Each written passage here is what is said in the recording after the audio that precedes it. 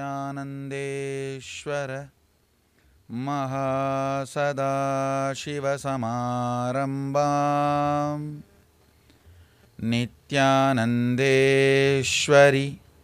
आदिशक्तिमध्यमाम् अस्मदाचार्यपर्यन्तां। वन्दे गुरुपरम्पराम् I welcome you all with my love and respects.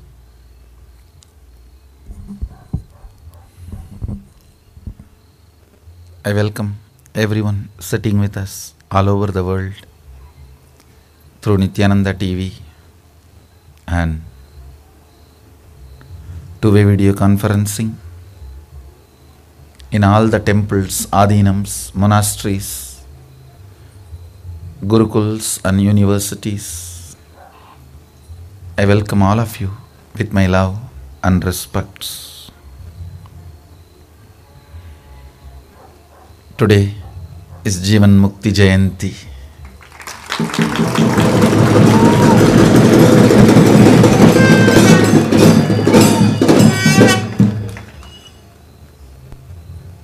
Understand every hardware functions with a particular software. Every matter functions with certain program.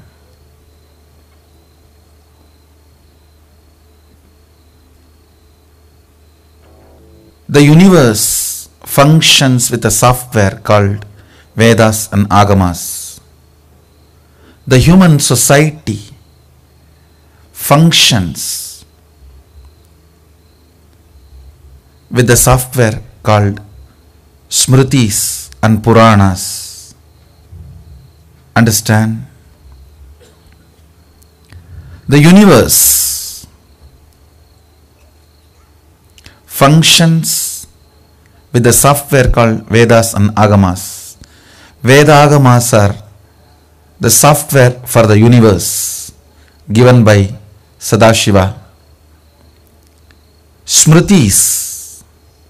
And Puranas are the software with which human society functions.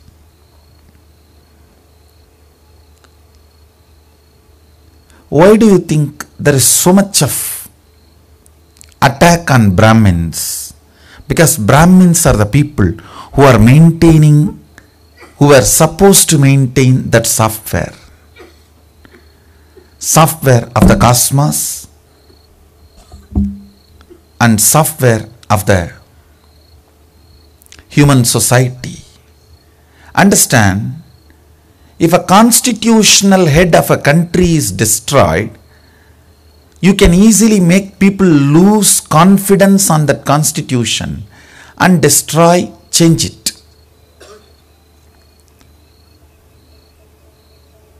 Brahmins were the head of the cosmic constitution who were holding it alive and who were constantly applying it. The constitution of the cosmos is Vedagamas and practice and application of the constitution is Smriti and Puranas.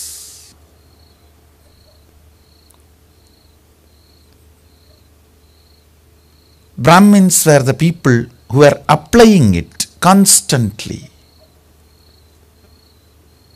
Understand, if you attack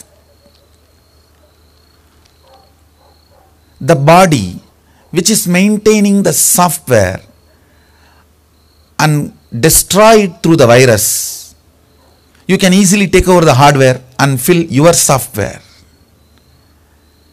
That is why so much of attack on Brahmins.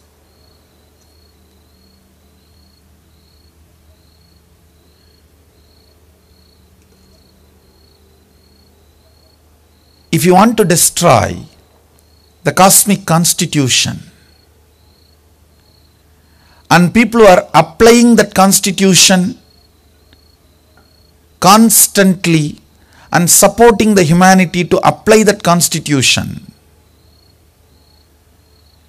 If you attack and finish that small group, it's too easy to make people lose confidence on that constitution.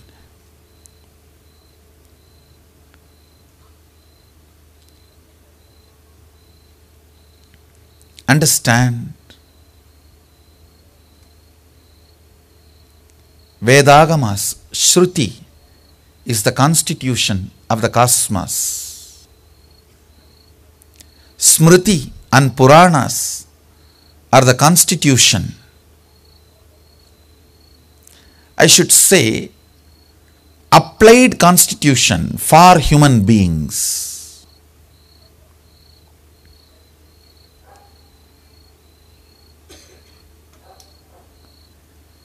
There may be small, small difference of opinions on how to apply the constitution, but those small, small difference of opinions should not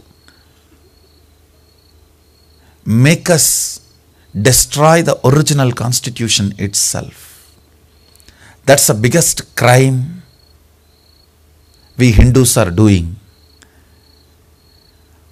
Small difference of opinion, nothing big. Oh, when I went to meet him, they asked me to remove shirt. When I went to meet him, they did not give me chair.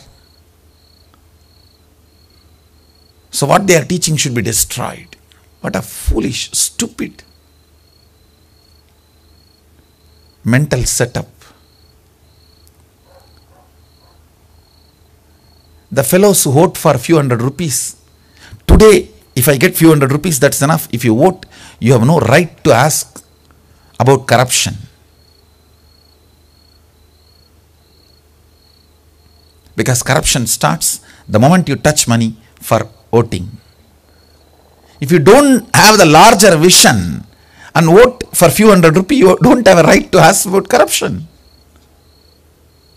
Same way, if you form your opinions and decisions based on small, small things,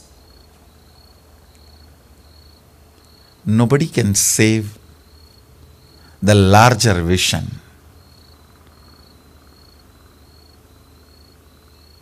Every human being should be educated about the cosmic constitution, Vedagamas, and applying the constitution in the day to day life, Smriti and Puranas.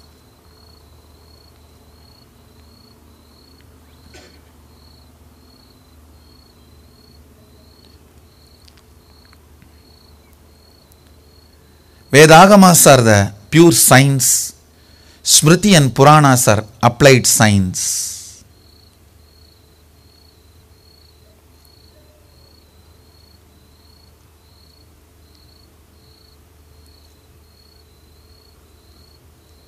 Methodology of writing, the best software based on superconsciousness. Smritis and Puranas are the software written for every age.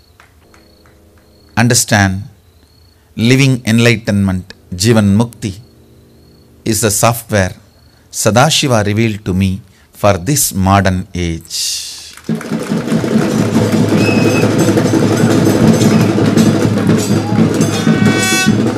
Even now, when I read the book, I don't feel I missed something which I should have said in that. Understand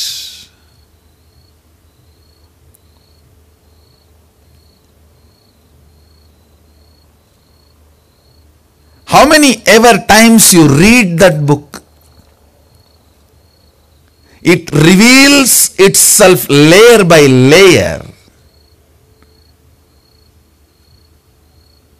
How much you can receive, that much it reveals.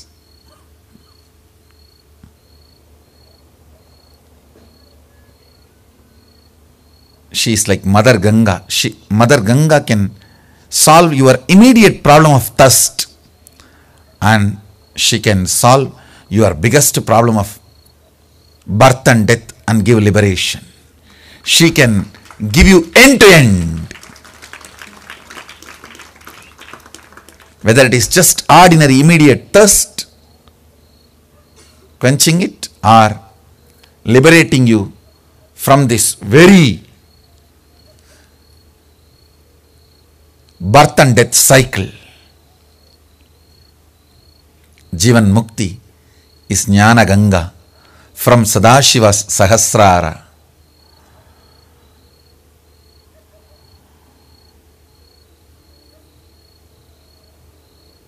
I tell you, this is the most powerful spiritual software revealed to humanity in the recent days.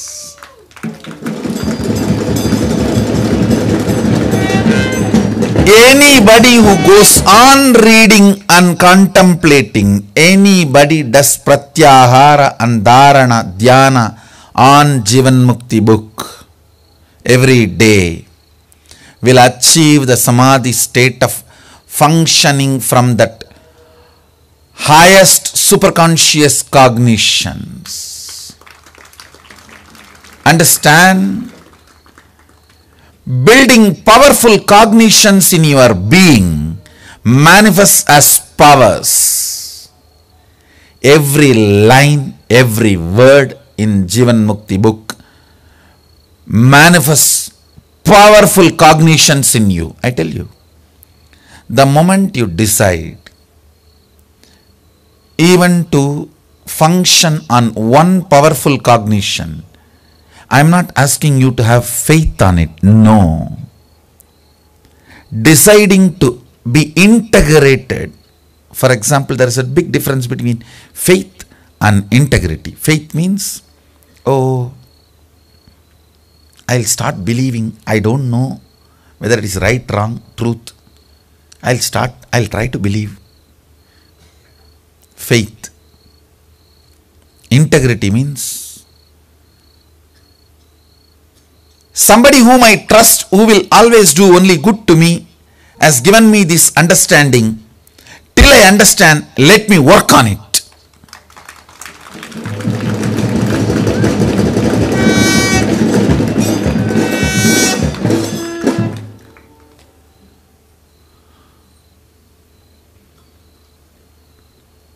Understand Patience with yourself is hope. Patience with human beings is love.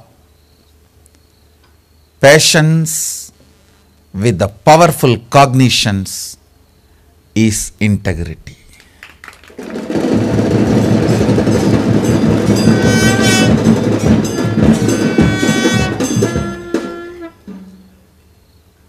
Every word in that book is powerful cognition.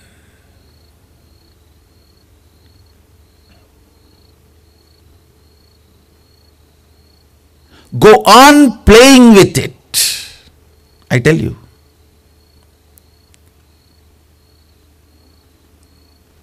How in the last Mahasada I gave this one powerful cognition. Static matter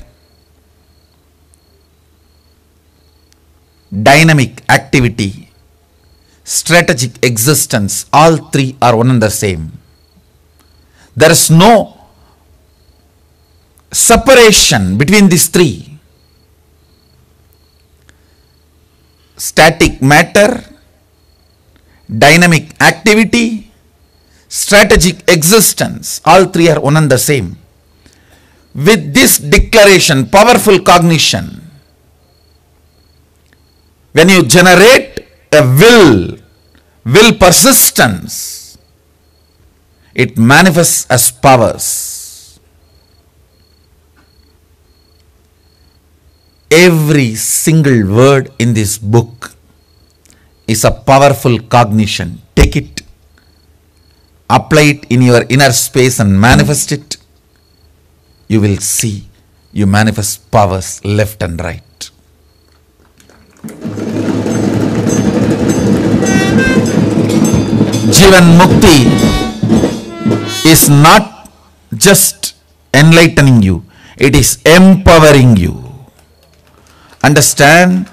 Book does enlightening and empowering.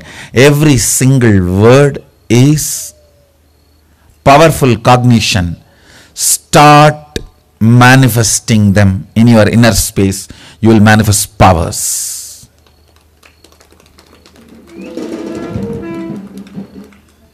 The book is not given to you just to give buddhi to you, it is given to you to give buddhi and shakti.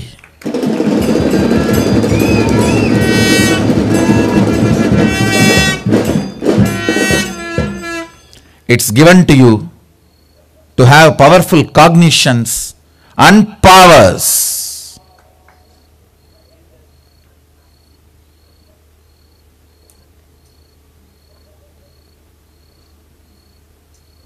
Understand?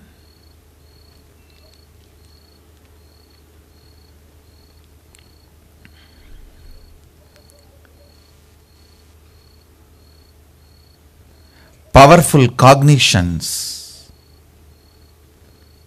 are equivalent to God in Hindu tradition. That is why the Vedas are worshipped as gods. Powerful cognitions are worshipped as gods and goddesses in Hindu tradition. Gita is worshipped as goddess. There are many Gita mandirs all over the India. In Haridwar, there is a big Gita Mandir which belongs to Mahanirvani Akada, where Gita is worshipped as the deity with four hands holding the Gita book. We will make a deity for Jivan Mukti.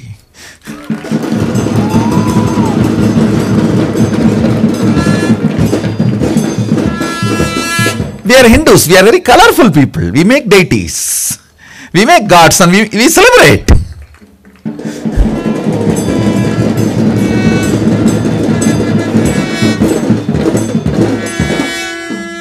We enjoy visualizations. We are a far life, pro life people.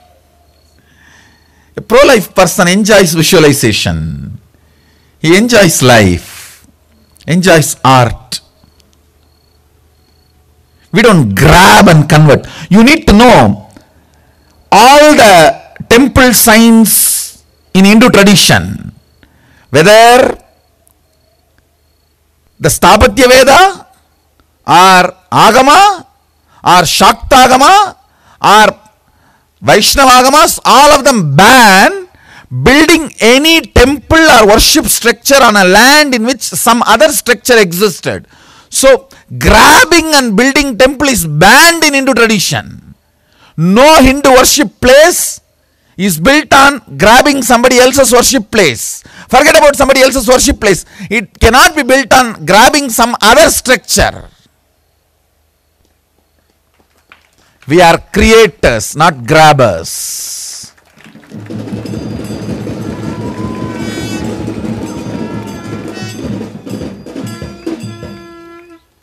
Somebody was questioning me.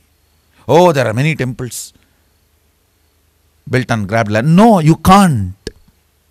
Agama does not allow. We neither built nor our scriptures agree.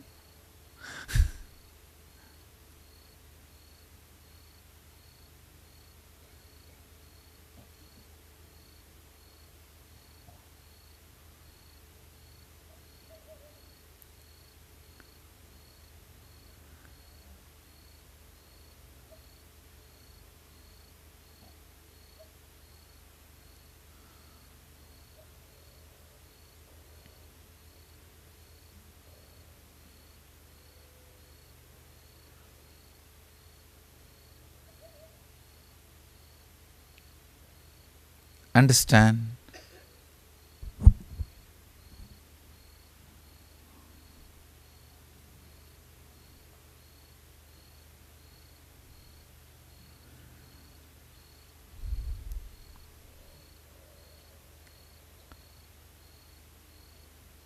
अण्डर्स्टेण्ड mukti is the most powerful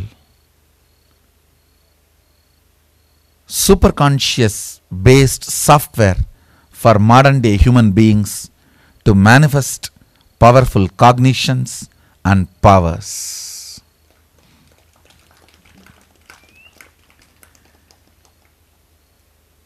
Every thought current expressed in that, every idea expressed in that is rooted in Vedas and Agamas. Understand? The methodology of teaching in Hinduism is four step. First, Shastra Pramana. The truth should be established in Vedas and Agamas. Shastra.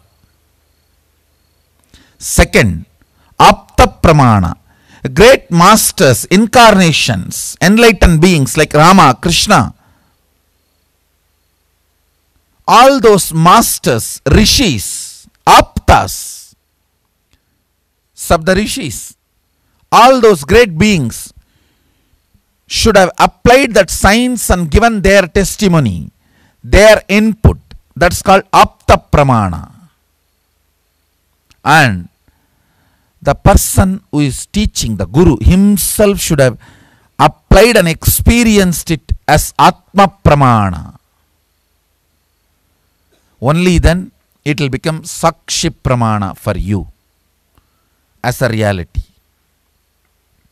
Shastra Pramana from the Vedas and Agamas, Apta Pramana, the people who applied this science earlier and manifested it, their words and experiences, teachings, and the Guru who is teaching you, his own experience, Atma Pramana. Only if all these three are in tune, it will become Sakshi Pramana for you. Understand, people who claim they have Atma Pramana, but they don't care about the Shastra Pramana and Apta Pramana, they are dangerous. No. Hinduism does not allow any Atma Pramana to be shared with the world for everyone unless it stands the test, scrutiny, acid wash of Shastra Pramana and Apta Pramana. Understand? Atma Pramanas are good for me. My experience, good for me. But only if it stands the scrutiny and acid wash of Shastra Pramana and Apta Pramana. It is useful for the whole world. It can be shared with the whole world. This book, Jivan Mukti, Living Enlightenment, is my Atma Pramana which stands the scrutiny, acid wash of Apta Pramana.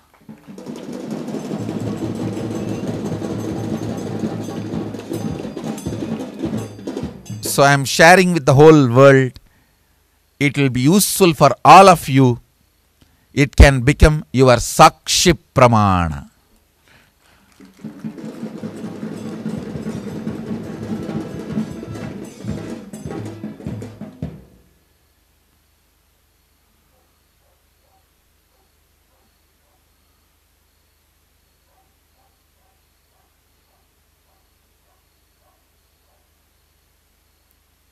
This science is basically from the core thought current of the superconscious space, what we call para.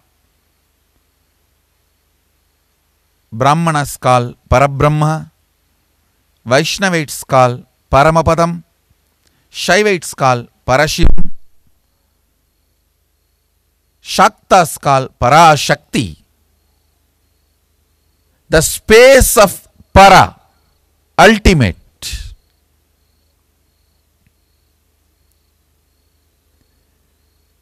Based on that superconscious space,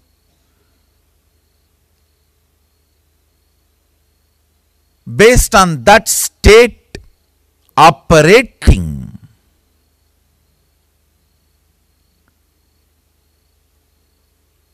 manifesting powerful cognitions and manifesting powers is living the life of Jivan Mukti, Sada Shivatva.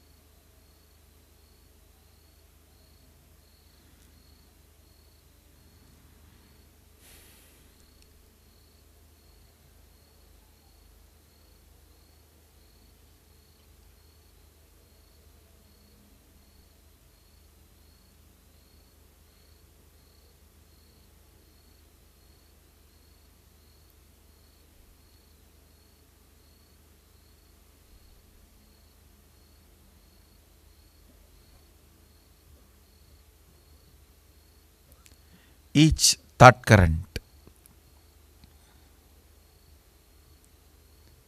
either manifests power or powerlessness in you. If it manifests powerlessness, we call that as negative thought current. If it manifests powers in you, we call it powerful cognitions. Understand, powerful cognitions always break the physics of the matter and makes your reality which is beyond matter. That is what we call miracles or power manifestation. This book, every word in this book is a powerful cognition which can manifest powers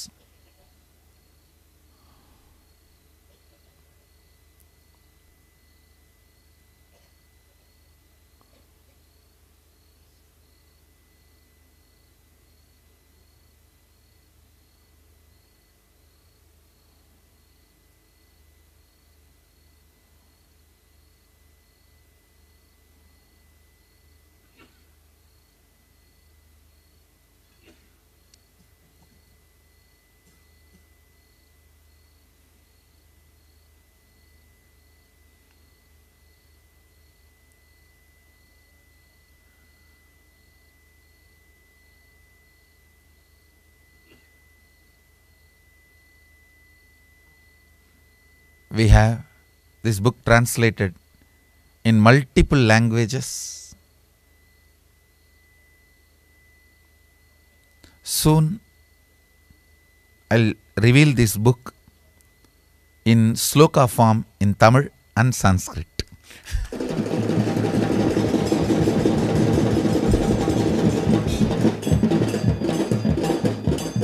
I'm not a poet in Sanskrit, but I can compose verses. That much I can manage. Maybe before the next Jivan Mukti Jayanti, 10th year, you will have Sanskrit verse form of Jivan Mukti.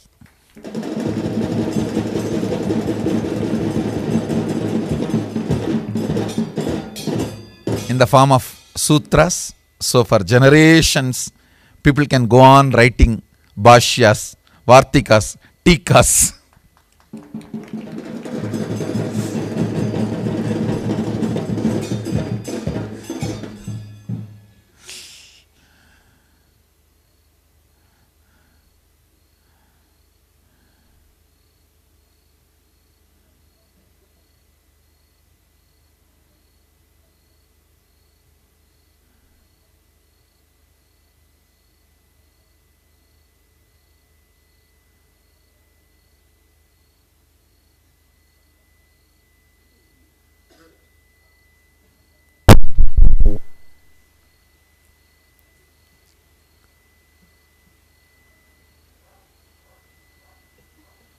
There is so much to tell about this Jivan Mukti.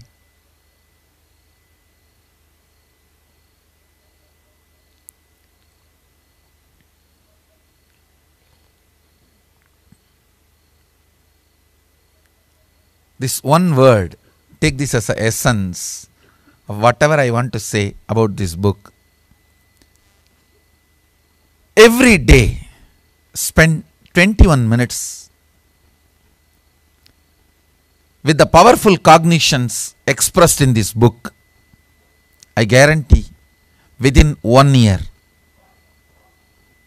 you will manifest powerful cognitions and powers. You will be enlightened and empowered.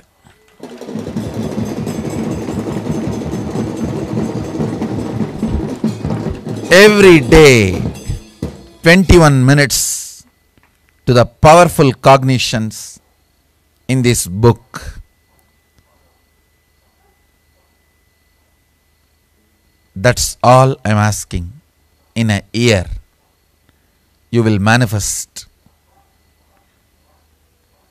the state of enlightenment and space of enlightenment and powers of enlightenment.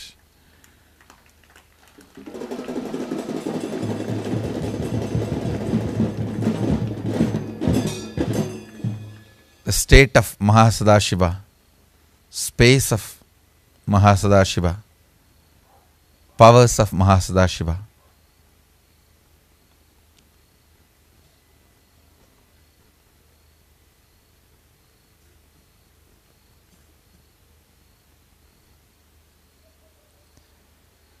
Yes, it is time for making Jivan Mukti Aushada.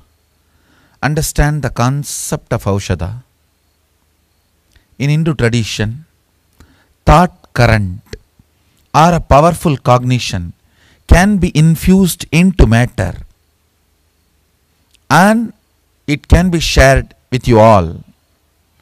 So now, all the powerful cognitions manifested in this Jivan Mukti book, I am adding them into the Aushada, matter. Understand, it is a very powerful science. Our ancient Hindu masters have developed.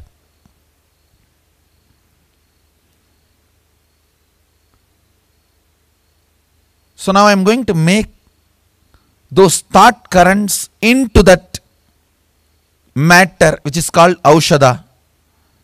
So even if you sit in this area silently with a receptive passive space means do not have active inner image. Just sit with a passive inner image.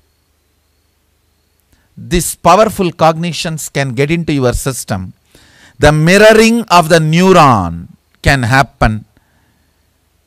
These powerful cognitions can become your experience and you can manifest powers.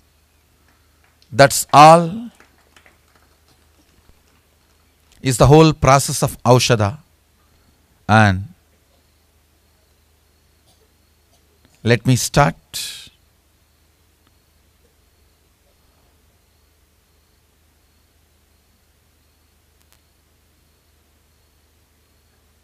sit with a passive inner image, a deep passions and silence.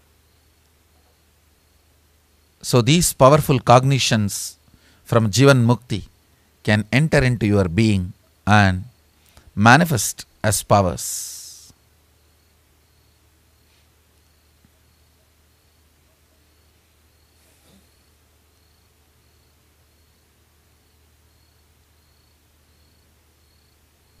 You can keep your eyes closed or open, that is up to you.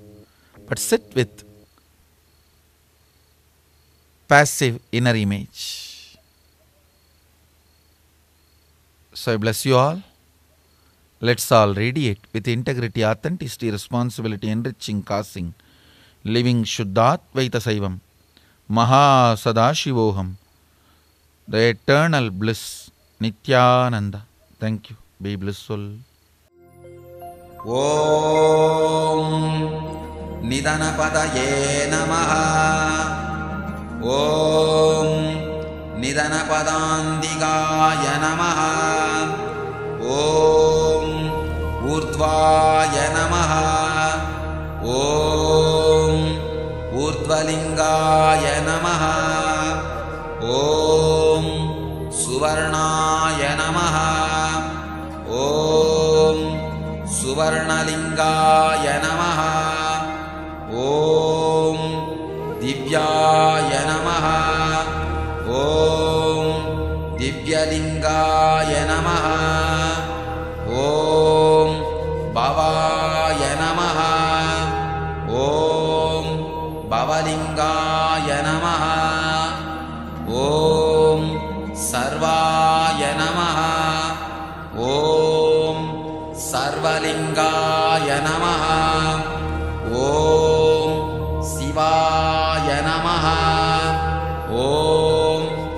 शिवलिङ्गाय नमः। ॐ ज्वलाय नमः। ॐ ज्वललिङ्गाय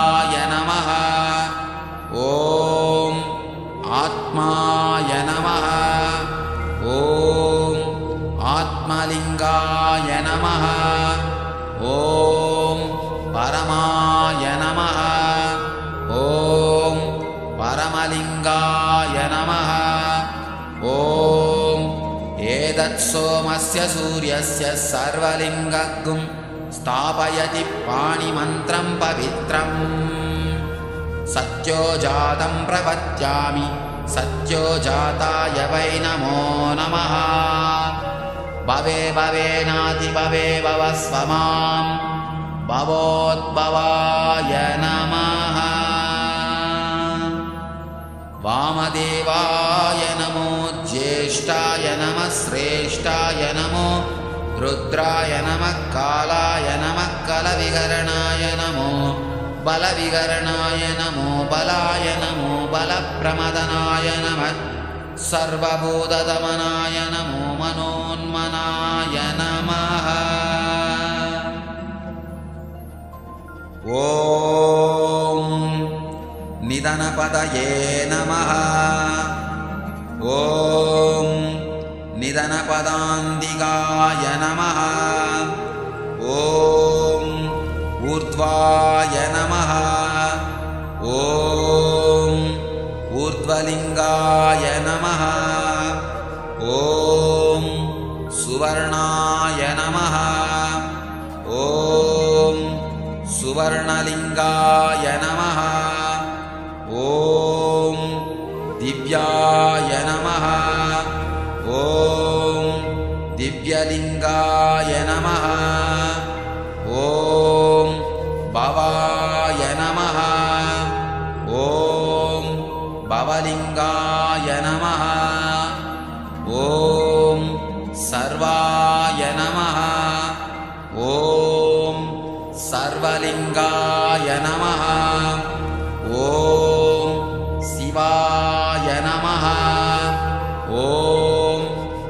शिवलिङ्गाय नमः।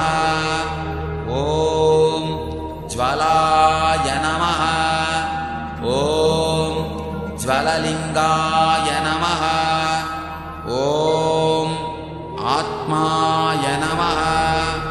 ॐ आत्मलिङ्गाय नमः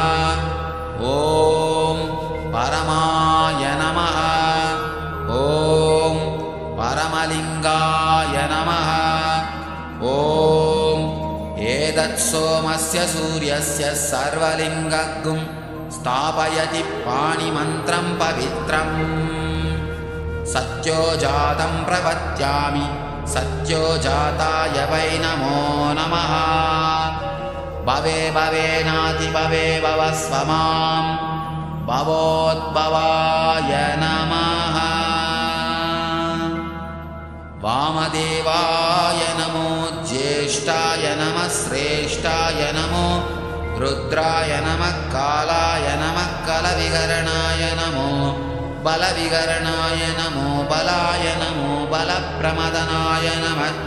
सर्वभूतदमनाय नमो मनोन् मनोन्मनाय नमः। ॐ निधनपदये नमः। ॐ निधनपदान्तिकाय नमः। ॐ ऊर्ध्वाय नमः।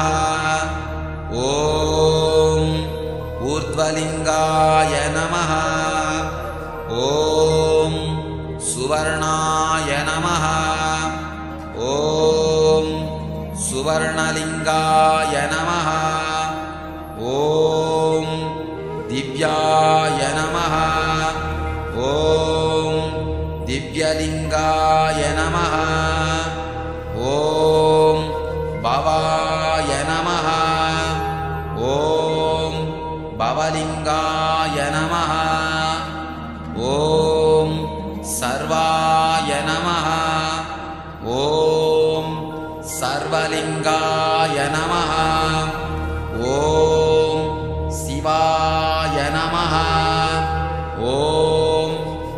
शिवलिङ्गाय नमः। ॐ ज्वलाय नमः। ॐ ज्वललिङ्गाय नमः। ॐ आत्माय नमः। ॐ आत्मलिङ्गाय नमः। ॐ परमाय नमः। ॐ परमलिङ्गाय एतत्सोमस्य सूर्यस्य सर्वलिङ्गगुं स्थापयति पाणिमन्त्रं पवित्रम्। सत्योजातं प्रपद्यामि सत्योजाताय वै नमो नमः। भवे भवेनातिभवे भव स्व मां भवोद्भवाय नमः। वामदेवाय नमो ज्येष्ठाय नमः श्रेष्ठाय नमो रुद्राय नमः कालाय नमः कलविकरणाय नमो बलविकरणाय नमो बलाय नमो बलप्रमदनाय नमः सर्वभूतदमनाय नमो मनोन्मनाय नमः ॐ निधनपदये नमः ॐ निधनपदान्तिकाय नमः। ॐ ऊर्ध्वाय नमः। ॐ ऊर्ध्वलिङ्गाय नमः। ॐ सुवर्णाय नमः। ॐ सुवर्णलिङ्गाय नमः। ॐ दिव्याय नमः दिव्यलिङ्गाय नमः। ॐ भवाय नमः। ॐ भवलिङ्गाय नमः। ॐ सर्वाय नमः। ॐ सर्वलिङ्गाय नमः। ॐ शिवाय नमः। ॐ शिवलिङ्गाय नमः। ॐ ज्वलाय नमः। ॐ ज्वललिङ्गाय नमः। ॐ आत्माय नमः। ॐ आत्मलिङ्गाय नमः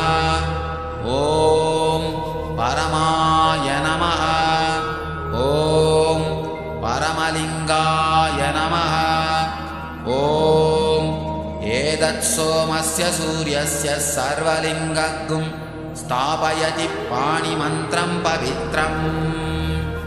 सत्योजातं प्रपद्यामि सत्योजाताय वै नमो नमः। भवे भवेनातिभवे भव स्व मां भवोद्भवाय नमः। वामदेवाय नमो ज्येष्ठाय नमः श्रेष्ठाय नमो। रुद्राय नमः कालाय नमः कलविकरणाय नमो। बलविकरणाय नमो बलाय नमो बलप्रमदनाय नमः। सर्वभूतदमनाय नमो मनोन्मनाय नमः। ॐ निधनपदये नमः ॐ निधनपदान्तिकाय नमः। ॐ ऊर्ध्वाय नमः। ॐ ऊर्ध्वलिङ्गाय नमः। ॐ सुवर्णाय नमः। ॐ सुवर्णलिङ्गाय नमः। ॐ दिव्याय नमः। ॐ दिव्यलिङ्गाय नमः। ॐ भवाय नमः। ॐ भवलिङ्गाय नमः। ॐ सर्वाय नमः। ॐ सर्वलिङ्गाय नमः। ॐ शिवाय शिवलिङ्गाय नमः। ॐ ज्वलाय नमः। ॐ ज्वललिङ्गाय नमः। ॐ आत्माय नमः। ॐ आत्मलिङ्गाय नमः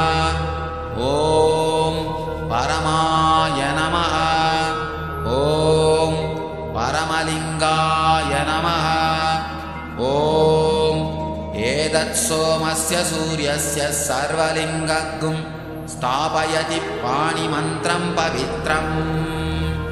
सत्योजातं प्रपद्यामि सत्योजाताय वै नमो नमः। भवे भवेनातिभवे भव स्व मां भवोद्भवाय नमः। वामदेवाय नमो ज्येष्ठाय नमः श्रेष्ठाय नमो। रुद्राय नमः कालाय नमः कलविकरणाय नमो। बलविकरणाय नमो बलाय नमो बलप्रमदनाय नमः। सर्वभूतदमनाय नमो मनोन्मनाय नमः। ॐ निधनपदये नमः ॐ निधनपदान्तिकाय नमः। ॐ ऊर्ध्वाय नमः। ॐ ऊर्ध्वलिङ्गाय नमः। ॐ सुवर्णाय नमः। ॐ सुवर्णलिङ्गाय नमः। ॐ दिव्याय नमः। ॐ दिव्यलिङ्गाय नमः। ॐ भवाय नमः। ॐ भवलिङ्गाय नमः। ॐ सर्वाय नमः। ॐ सर्वलिङ्गाय नमः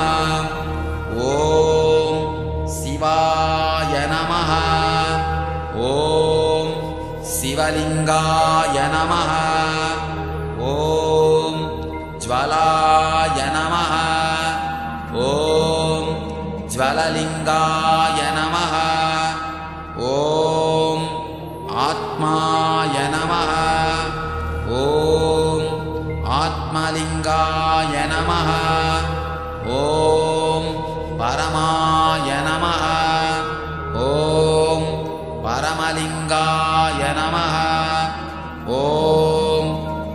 एतत्सोमस्य सूर्यस्य सर्वलिङ्गगुं स्थापयति पाणिमन्त्रं पवित्रम्। सत्योजातं प्रपद्यामि सत्योजाताय वै नमो नमः। भवे भवेनातिभवे भव स्व मां भवोद्भवाय नमः। वामदेवाय नमो श्रेष्ठाय नमो रुद्राय नमः कालाय नमः कलविकरणाय नमो बलविकरणाय नमो बलाय नमो बलप्रमदनाय नमः सर्वभूतदमनाय नमो मनोन्मनाय नमः ॐ निधनपदये नमः ॐ निधनपदान्तिकाय नमः। ॐ ऊर्ध्वाय नमः। ॐ ऊर्ध्वलिङ्गाय नमः। ॐ सुवर्णाय नमः। ॐ सुवर्णलिङ्गाय नमः। ॐ दिव्याय नमः ॐ दिव्यलिङ्गाय नमः। ॐ भवाय नमः। ॐ भवलिङ्गाय नमः। ॐ सर्वाय नमः। ॐ सर्वलिङ्गाय नमः। ॐ शिवाय शिवलिङ्गाय नमः। ॐ ज्वलाय नमः। ॐ ज्वललिङ्गाय नमः। ॐ आत्माय नमः। ॐ आत्मलिङ्गाय नमः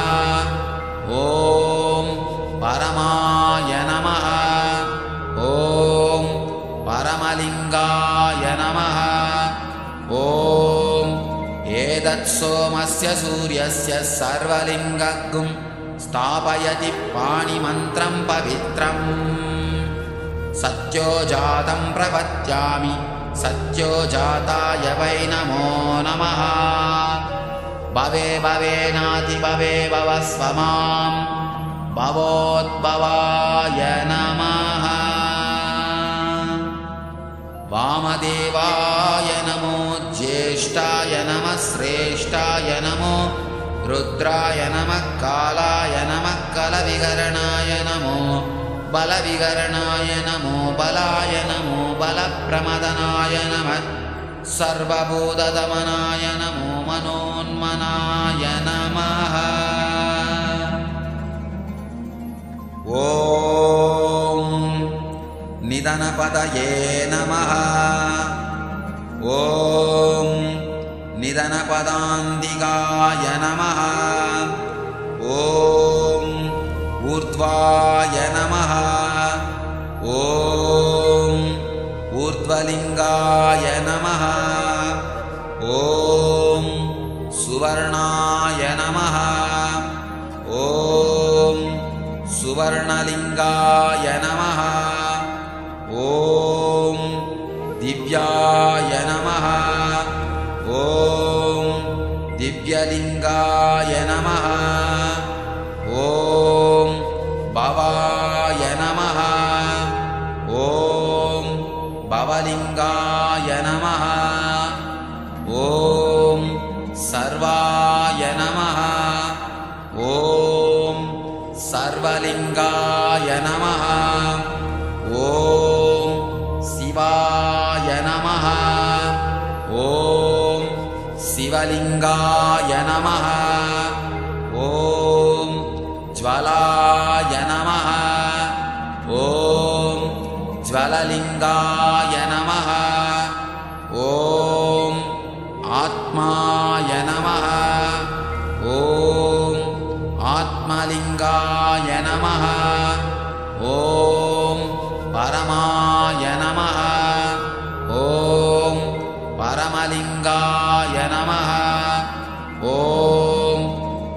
एतत् सोमस्य सूर्यस्य सर्वलिङ्गगुं स्थापयति पाणिमन्त्रं पवित्रम्। सत्योजातं प्रपद्यामि सत्योजाताय वै नमो नमः। भवे भवेनातिभवे भवस्व मां भवोद्भवाय नमः। वामदेवाय नमो ज्येष्ठाय नमः श्रेष्ठाय नमो रुद्राय नमः कालाय नमः कलविकरणाय नमो बलविकरणाय नमो बलाय नमो बलप्रमदनाय नमः सर्वभूतदमनाय नमो मनोन्मनाय नमः। ॐ निधनपदये नमः ॐ निधनपदान्तिकाय नमः। ॐ ऊर्ध्वाय नमः। ॐ ऊर्ध्वलिङ्गाय नमः। ॐ सुवर्णाय नमः। ॐ सुवर्णलिङ्गाय नमः। ॐ दिव्याय नमः। ॐ दिव्यलिङ्गाय नमः। ॐ भवाय नमः। ॐ भवलिङ्गाय नमः। ॐ सर्वाय नमः। ॐ सर्वलिङ्गाय नमः। ॐ शिवाय शिवलिङ्गाय नमः। ॐ ज्वलाय नमः। ॐ ज्वललिङ्गाय नमः। ॐ आत्माय नमः। ॐ आत्मलिङ्गाय नमः। ॐ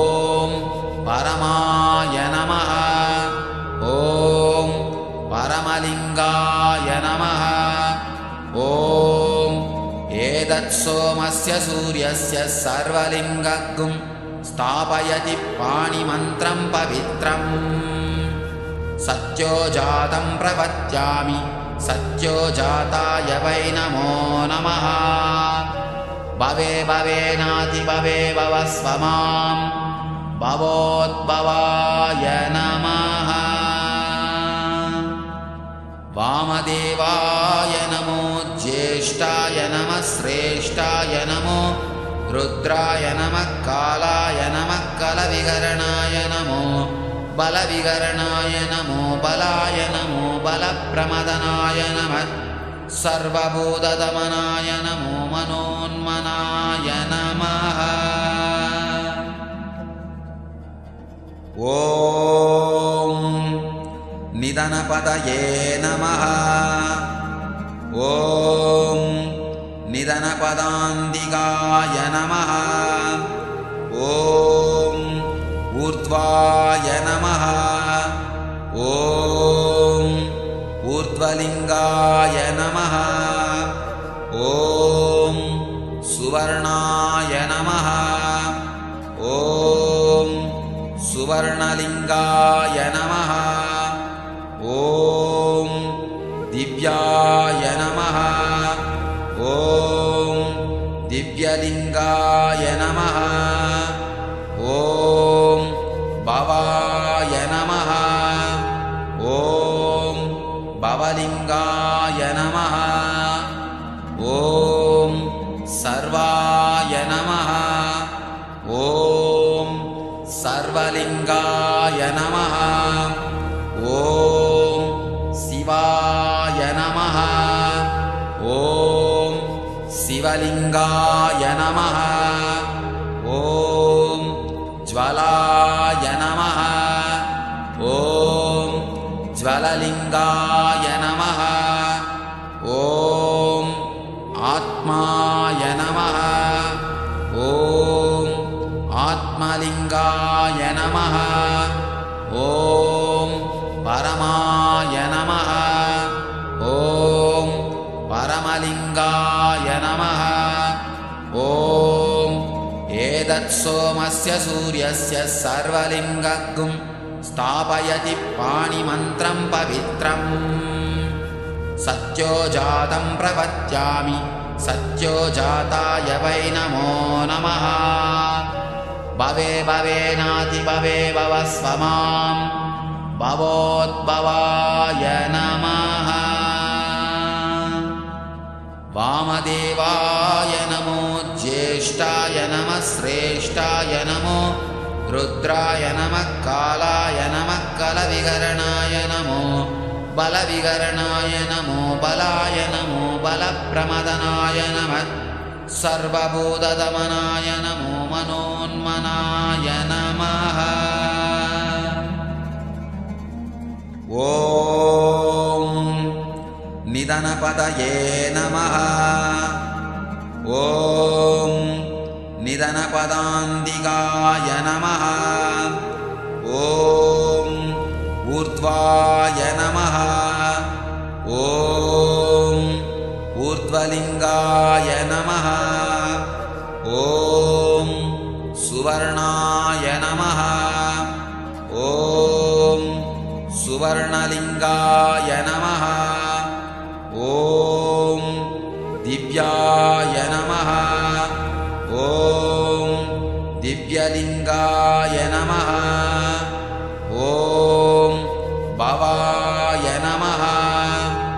ॐ भवलिङ्गाय नमः। ॐ सर्वाय नमः। ॐ सर्वलिङ्गाय नमः शिवाय नमः। ॐ शिवलिङ्गाय नमः। ॐ ज्वलाय नमः। ॐ ज्वललिङ्गाय नमः। ॐ आत्माय नमः। ॐ आत्मलिङ्गाय नमः। ॐ परमाय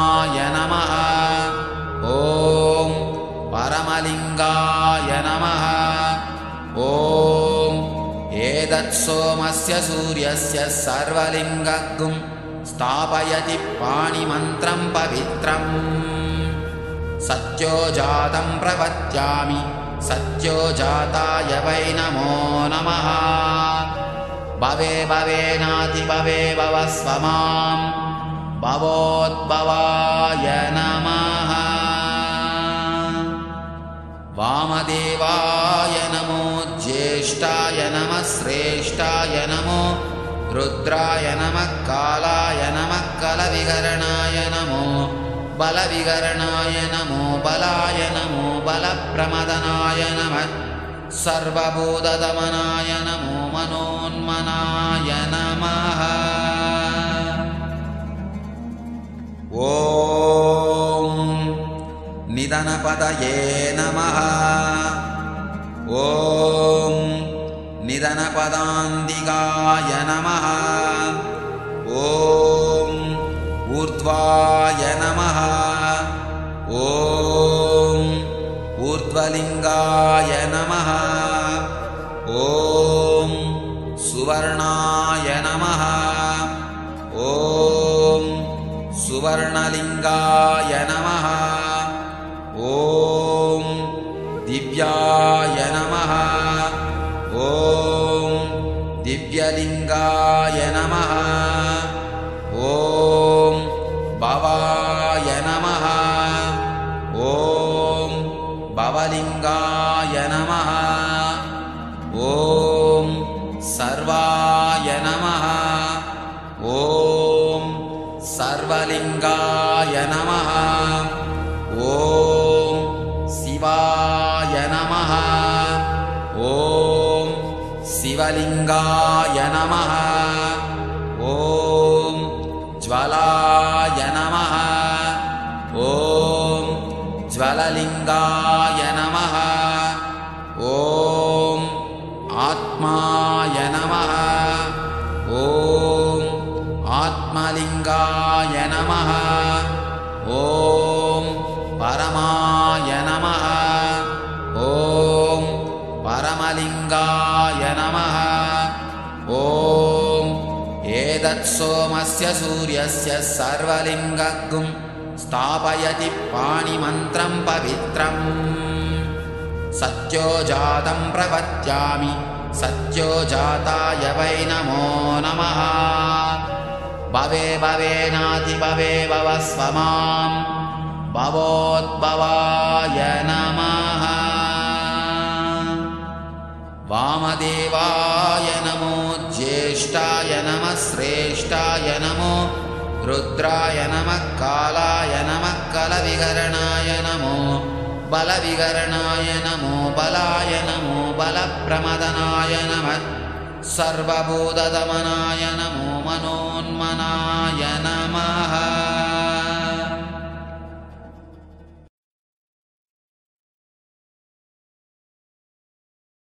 ॐ निधनपदये नमः। ॐ निधनपदान्तिकाय नमः। ॐ ऊर्ध्वाय नमः। ॐ ऊर्ध्वलिङ्गाय नमः। ॐ सुवर्णाय सुवर्णलिङ्गाय नमः। ॐ दिव्याय नमः। ॐ दिव्यलिङ्गाय नमः। ॐ भवाय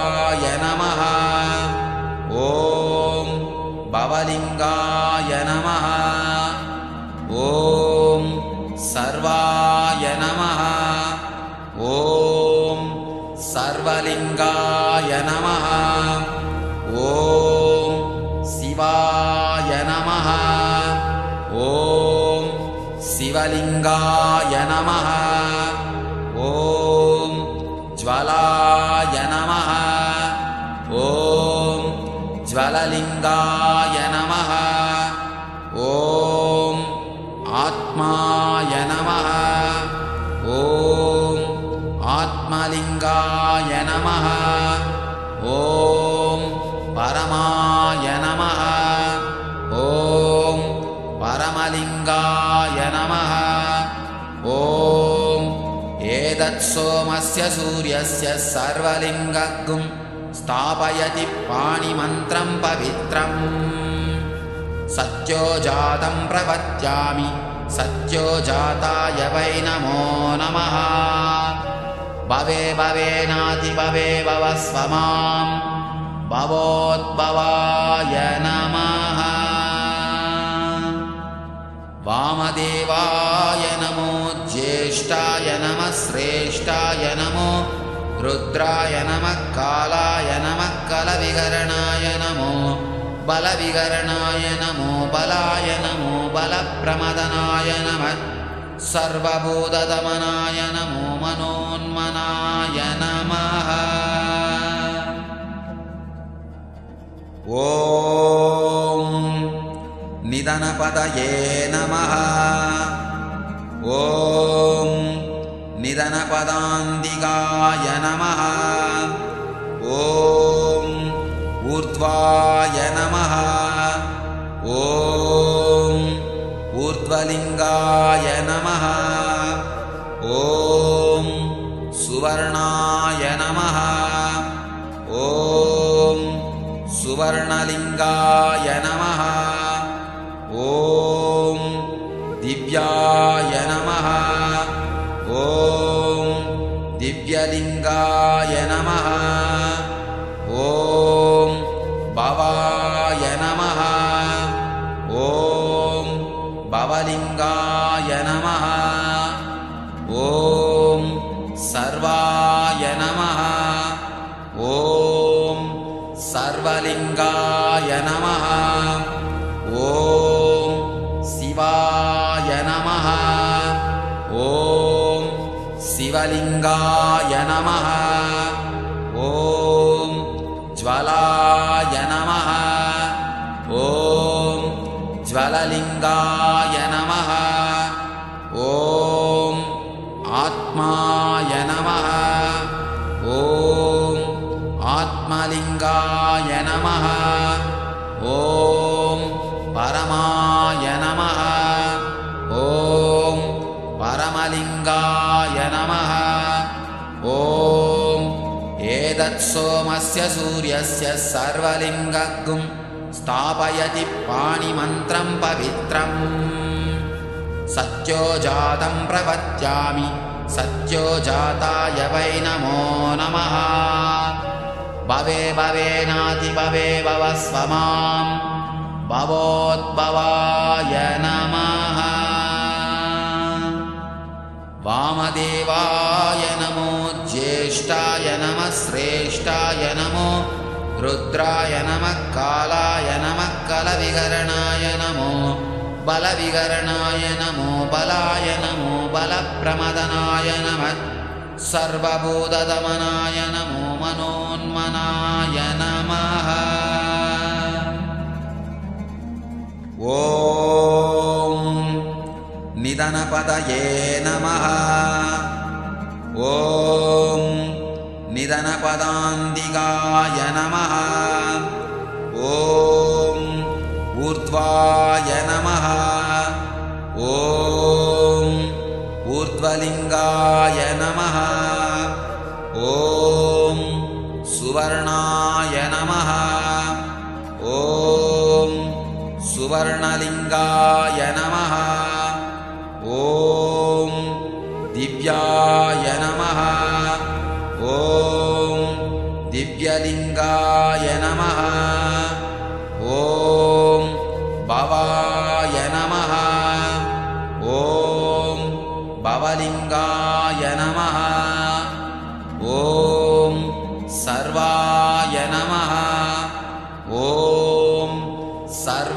सर्वलिङ्गाय नमः।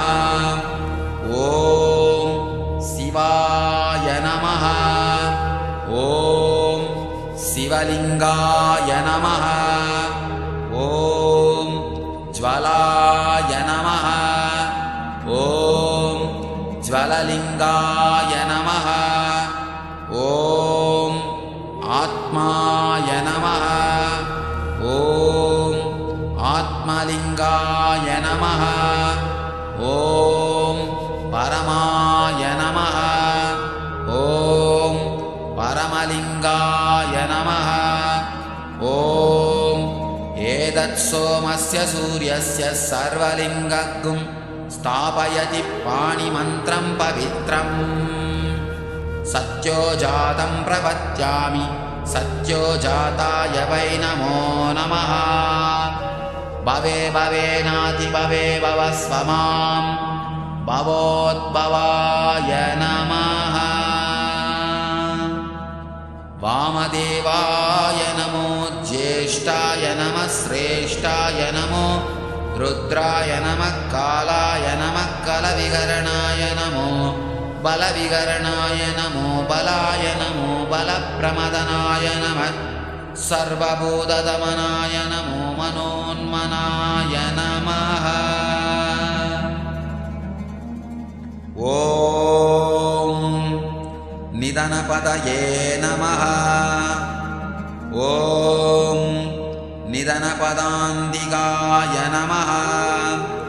ॐ ऊर्ध्वाय नमः। ॐ ऊर्ध्वलिङ्गाय नमः सुवर्णाय नमः। ॐ सुवर्णलिङ्गाय नमः। ॐ दिव्याय नमः। ॐ दिव्यलिङ्गाय नमः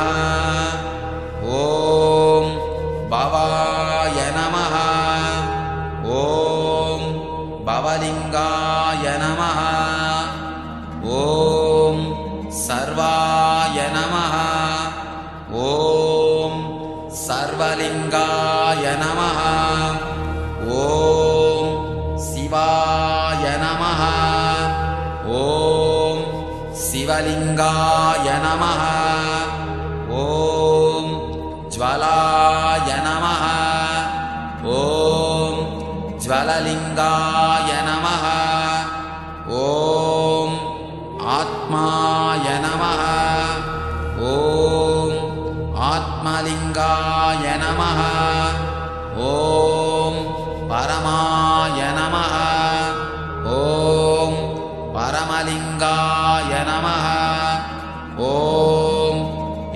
सोमस्य सूर्यस्य सर्वलिङ्गगुं स्थापयति पाणिमन्त्रं पवित्रम्। सत्यो जातं प्रपद्यामि सत्यो जाताय वै नमो नमः। भवे भवेनातिभवे भव स्व मां भवोद्भवाय नमः। वामदेवाय नमो ज्येष्ठाय नमः श्रेष्ठाय नमो। रुद्राय नमः कालाय नमः कलविकरणाय नमो। बलविकरणाय नमो बलाय नमो बलप्रमदनाय नमः। सर्वभूतदमनाय नमो मनोन्मनाय नमः।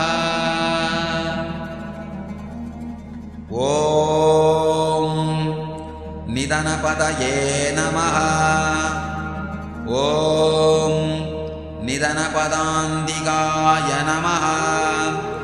ॐ ऊर्ध्वाय नमः। ॐ ऊर्ध्वलिङ्गाय नमः।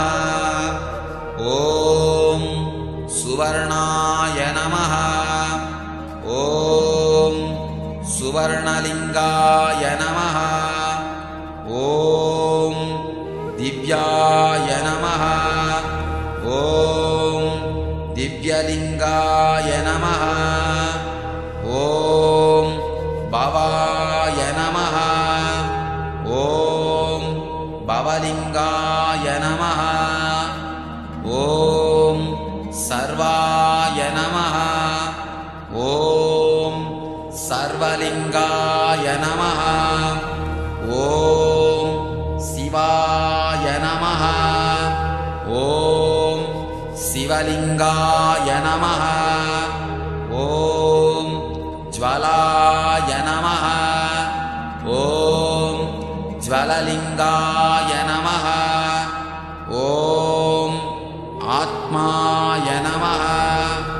ॐ आत्मलिङ्गाय नमः। ॐ परमाय नमः। ॐ परमलिङ्गाय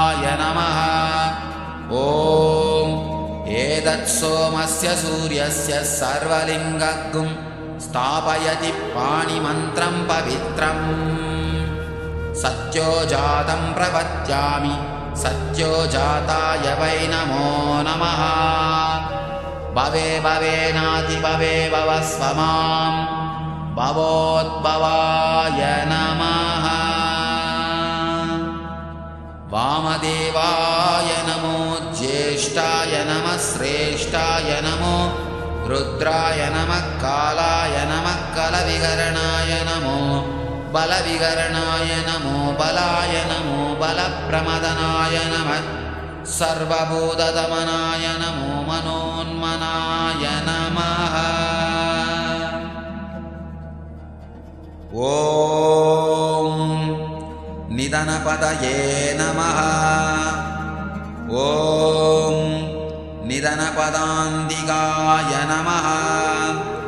ॐ ऊर्ध्वाय नमः। ॐ ऊर्ध्वलिङ्गाय नमः। ॐ सुवर्णाय नमः। ॐ सुवर्णलिङ्गाय नमः। ॐ दिव्याय नमः। ॐ दिव्यलिङ्गाय नमः। ॐ भवाय नमः।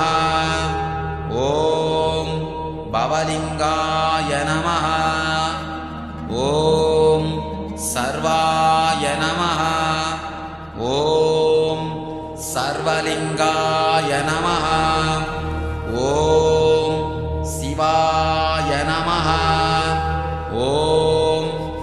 शिवलिङ्गाय नमः।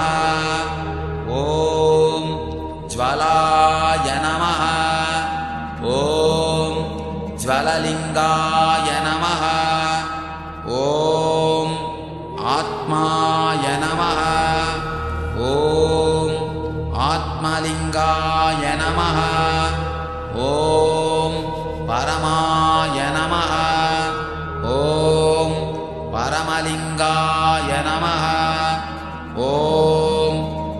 एतत् सोमस्य सूर्यस्य सर्वलिङ्गगुं स्थापयति पाणिमन्त्रं पवित्रम्।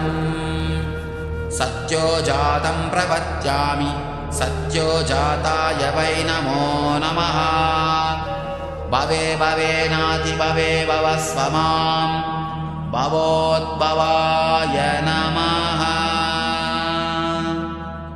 वामदेवाय नमो ज्येष्ठाय नमः श्रेष्ठाय नमो। रुद्राय नमः कालाय नमः कलविकरणाय नमो। बलविकरणाय नमो बलाय नमो बलप्रमदनाय नमः। सर्वभूतदमनाय नमो मनोन्मनाय नमः। ॐ निधनपदये नमः। ॐ निधनपदान्तिकाय नमः। ॐ ऊर्ध्वाय नमः। ॐ ऊर्ध्वलिङ्गाय नमः। ॐ सुवर्णाय नमः। ॐ सुवर्णलिङ्गाय नमः। ॐ दिव्याय नमः ॐ दिव्यलिङ्गाय नमः। ॐ भवाय नमः। ॐ भवलिङ्गाय नमः। ॐ सर्वाय नमः। ॐ सर्वलिङ्गाय नमः। ॐ शिवाय शिवलिङ्गाय नमः। ॐ ज्वलाय नमः। ॐ ज्वललिङ्गाय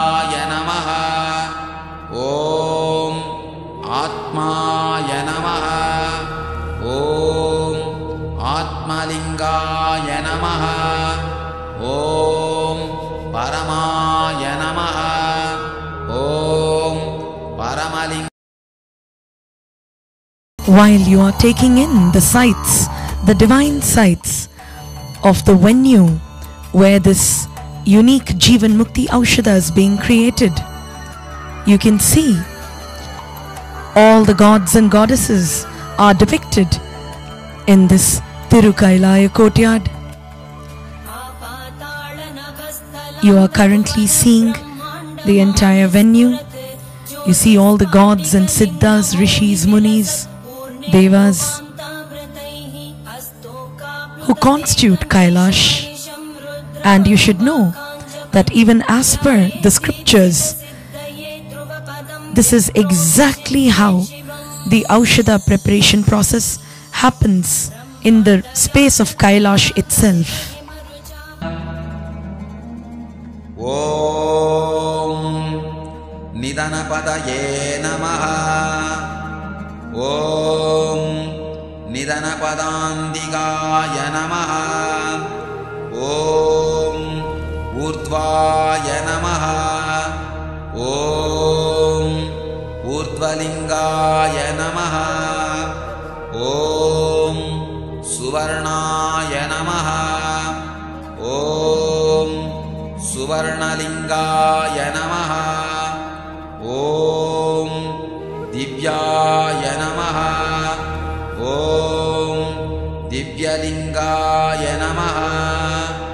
ॐ भवाय नमः। ॐ भवलिङ्गाय नमः। ॐ सर्वाय नमः। ॐ सर्वलिङ्गाय नमः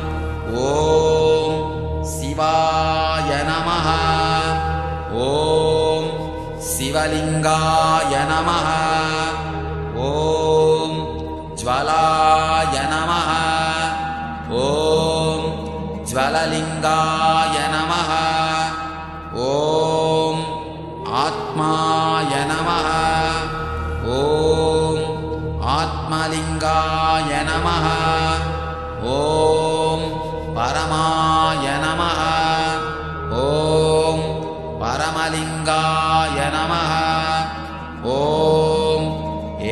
यत्सोमस्य सूर्यस्य सर्वलिङ्गगुं स्थापयति पाणिमन्त्रं पवित्रम्। सत्यो जातं प्रपद्यामि सत्यो जाताय वै नमो नमः। भवे भवेनाधिभवे भव स्व मां भवोद्भवाय नमः।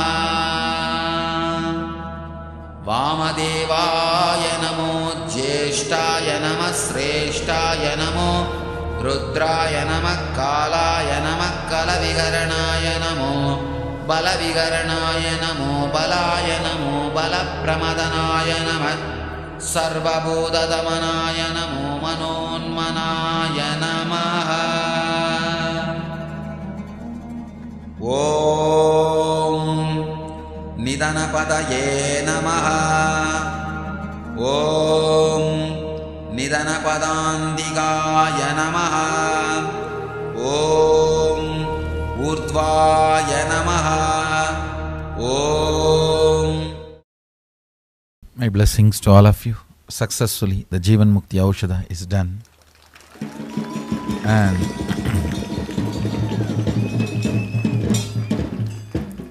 it will be shared with you all. And I bless you all. Let you all, let's all radiate with integrity, authenticity, responsibility, enriching, causing, living. Shuddhatvaita Saivam, Maha Sadashivoham, the eternal bliss, Nityananda. Thank you. Be blissful.